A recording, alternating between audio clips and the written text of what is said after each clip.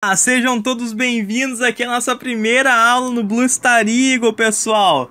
Aqui a gente vai fazer a nossa primeira aula, né, oficial aqui agora. Né? A gente fez um vídeo antes aqui. Eu recomendo muito vocês assistirem antes de assistir esse vídeo aqui, beleza? Uh, a aula vai ser feita em três partes, né? A parte 1, que é a parte da compreensão, a parte 2, que é a parte da adaptação, e a parte 3, que é a parte da conversação, né? Eu bolei uma ideia aqui que eu vou tá podendo treinar a conversação de vocês, beleza? Então, nessa aula aqui, que é a aula de compreensão, né? Eu vou estar tá mostrando aqui um texto para vocês, vou tá treinando o listening de vocês, a, a, um pouquinho, né, como é que é construída as frases, né? E na adaptação vou estar tá ajudando vocês a formular novas frases com essas frases que vocês têm aprendido, né? Para vocês verem o quanto é maleável inglês, como é bacana brincar assim com, com as palavras em inglês, né? Você vai aprendendo a se adaptar melhor, né? A, a, a conseguir se virar também no inglês, né? Isso aqui que é bacana. Então, nessa primeira parte aqui, a gente vai tentar criar intimidade com esse texto, onde eu vou estar tá mostrando para vocês a, a o, o, contexto aqui, né, de uma forma bem bacana, bem legal aqui, bem divertida.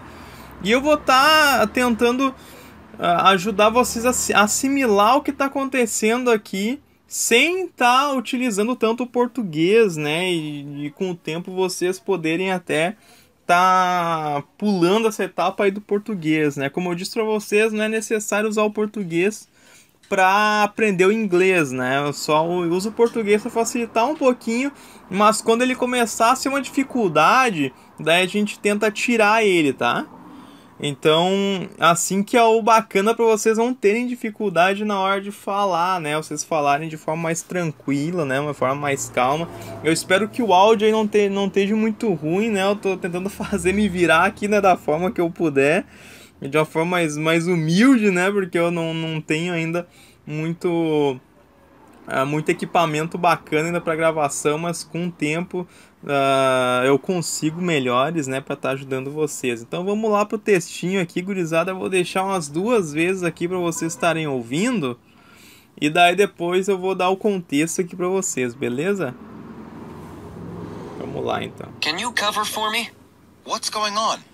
I'm late again and I don't want my boss to know. It's too late. Why? Does he see me? He's standing right behind you. Can you cover for me? What's going on? I'm late again, and I don't want my boss to know. It's too late. Why? Does he see me? He's standing right behind you. Aí, gurizada, a gente viu aqui, né, que o Joe, eu quero que vocês imaginem aqui agora, tá? Tem o Joe e o Stan tá uma situação ali. O Joe ele tá atrasado pro trabalho dele, né? Eu vou dar aqui o contexto meu, vou traduzir aqui primeiro para vocês, para vocês verem, né, o que eu tô falando. O Joe ele fala: "Você pode me acobertar, né? Você pode me cobrir? Você pode cobrir para mim aqui?" E o Stan diz: "O que está acontecendo?" E o Joe diz, né? "Eu estou atrasado de novo." E eu não quero que o meu chefe fique sabendo, não quero que o meu chefe saiba, né? Tô atrasado. E o Stan diz para ele: é muito tarde. E o Joe diz: uh, porque ele me vê? Ele, tá, ele, ele me viu, né? Ele me vê. E o Stan já responde, né? Ele está parado logo atrás de você. Então eu já consigo imaginar aqui a cara que o que o Joe ficou, né, quando ele quando ele virou e viu o chefe dele lá atrás dele lá. Já pode imaginar aí. Então o que que tá acontecendo aqui, gurizada? O que que o que que tá acontecendo, ó? Quer que vocês imaginem, né? Aqui tem a, a, a, frase, né? A primeira frase que, que a gente vai trabalhar. Can you cover for me? Né? Essa frase aqui é bem bacana, né? Que é você pode cobrir para mim, pode acobertar aqui para mim, né? É, encobrir alguma coisa pode ser usado tanto para cobrir, né? Sabe aquele o takeover, né? Takeover, não sei se alguém já já jogou um jogo de de FPS, alguma coisa assim, sabe o que que eu tô falando, né? Quando algum soldado tem que uh, pegar cover em algum lugar assim para não, não ser atingido ou coisa assim. Dá pra tu uh, se cobrir também, né? Covering yourself. Então, a palavra cover eu gosto bastante dela. Então aqui está usando num contexto de encobrir alguma coisa, né, que ele tá que tá acontecendo aí, né? Ele pediu pro pro amigo dele, pelo jeito isso aí não é a primeira vez, porque ele diz I'm late again, eu estou uh, atrasado de novo. Então aqui eu quero que vocês imaginem o Joe chegando correndo no trabalho dele e ele vai dizer, né? Você pode encobrir para mim, mas você pode. Can you cover for me? E eu quero que vocês imaginem esse Can you cover for me? Uh, apenas pelo pela palavra em si, né? Porque vocês têm que imaginar, né, na, na, na cabecinha de vocês, né, que uh, o Can you cover for me é realmente o Can you cover for me. Se vocês sempre pensarem, né, que o Can Cover For Me é, você pode me encobrir, vai acontecer aquilo, né, da, da, da dificuldade na hora de falar, né, porque você vai começar a traduzir na sua cabeça toda hora. E é por isso que essas histórias são bacanas, porque quando eu comecei a fazer isso, né, a conseguir uma intimidade com os textos dessa forma, com assimilando com histórias e, e essas coisas, eu conseguia uh, falar muito mais fácil, né? Muito mais, mais facilmente as coisas que eu queria falar, eu conseguia me expressar melhor. Então a gente tem que usar sempre a criatividade, né? Aqui, can you cover for me? E o Stan diz, what's going on? O que está acontecendo? Né? O Stan não sabia, né? O amigo dele veio correndo lá dizendo, can you cover for me? É, certeza que agora vocês já estão vendo um pouquinho quem o cover for me com a, com a própria palavra em si. Uh, e o Stan disse: What's going on? O que está acontecendo? Então o Joe aqui ele fala, né? Uh, I'm late again. I'm, I don't want my boss to know. E aqui que é bacana também que o Joe está falando I'm late again. Ele não está falando I am late again.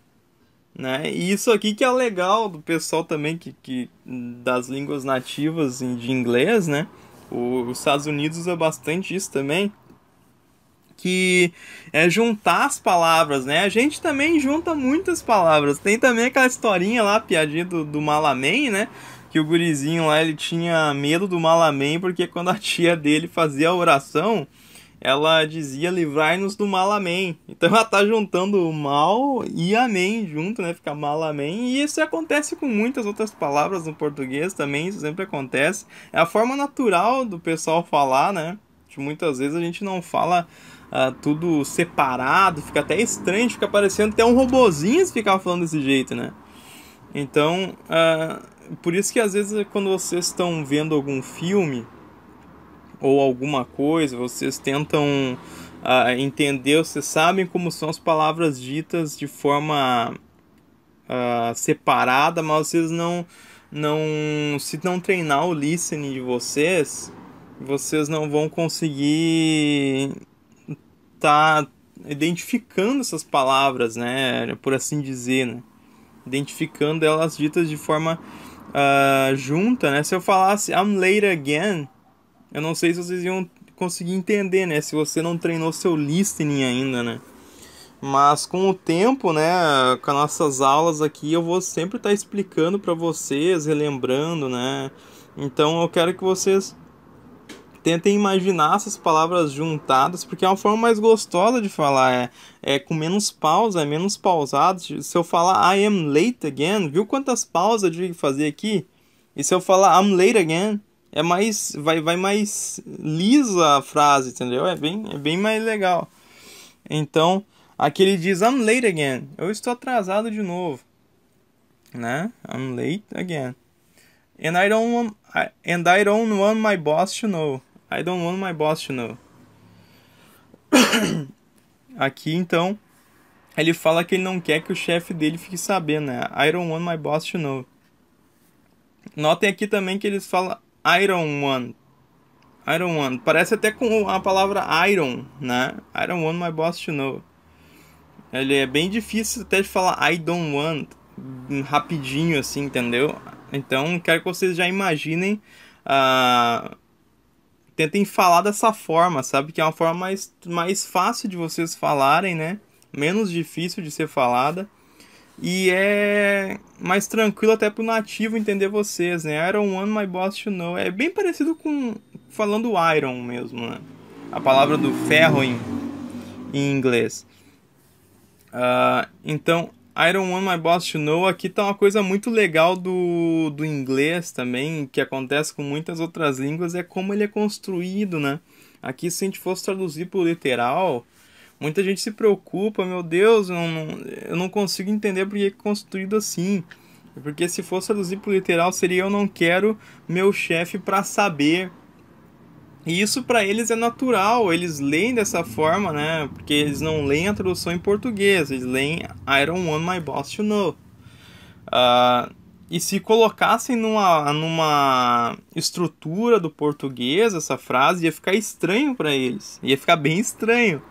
Assim como fica estranho para nós quando a gente traduz para o literal do português, porque a gente está tentando colocar daí uma estrutura gramatical de uma, de uma língua que não foi criada baseada na nossa, né?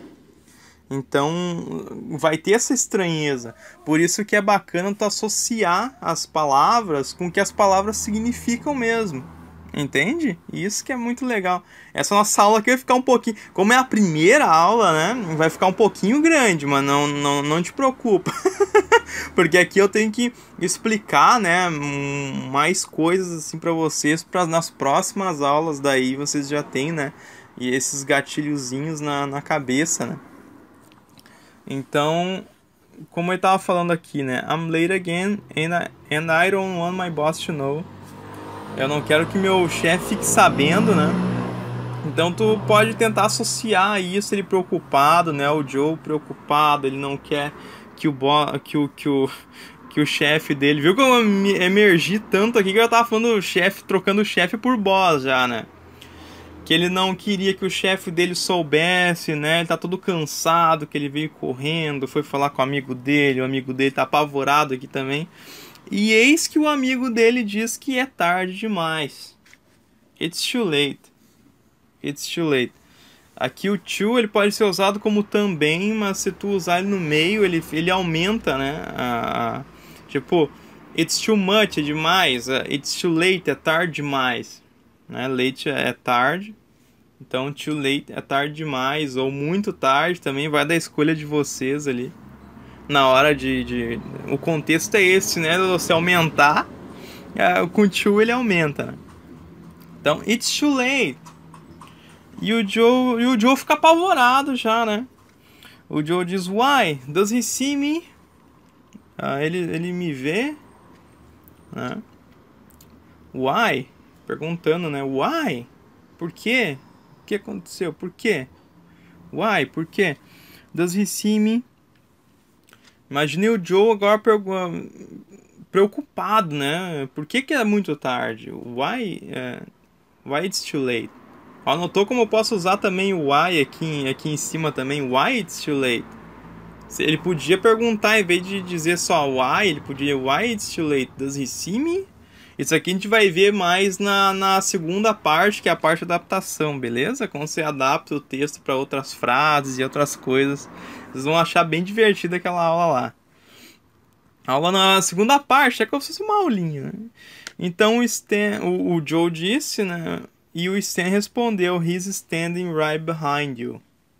Ele está parado aí, logo atrás de você right, ele, right ele pode ser usado para direita, né? Para uma coisa que é direita, mas também pode dizer logo também, logo atrás, sabe? Logo, uh, right now, agora mesmo. Uh, pode ser usado é, é, bastante de memorização, né? Ao longo que você vai criando intimidade com a língua, você vai vai ativando esses gatilhos né, na, na cabeça de vocês e vocês vão uh, conseguindo notar nessas né, diferenças. Né? É isso que a gente quer passar aqui. Ó. O He's standing right behind you. Quer dizer, logo atrás de você. Né? Ele está parado aí logo atrás de você. Então você pode imaginar o chefe dele essa situação, o chefe dele atrás dele, né? E o Joe uh, preocupado.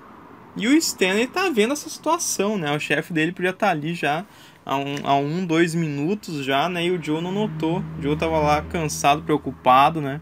E não notou isso aí. Então é isso aí, gurizada.